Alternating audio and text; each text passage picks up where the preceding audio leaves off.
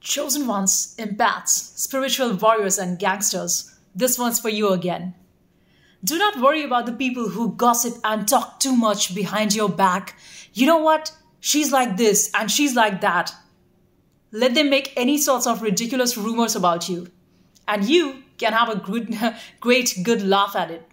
Because it's fun to hear interesting, different stories from different people and all in the form of a gossip. Your job is not to clarify any of that. Your job is just to stay focused on your own path, and your job is just to believe in God's love and faith and let Him do the magic. Because all of the black magic and stuff that they send at you, that is going to be 10x multiplied back to them, and they would get destroyed, and you need do nothing about it. It's God's power that would do everything, and you just wait and watch. It's all a gameplay happening but you should be very much aware of your own powers. Bye.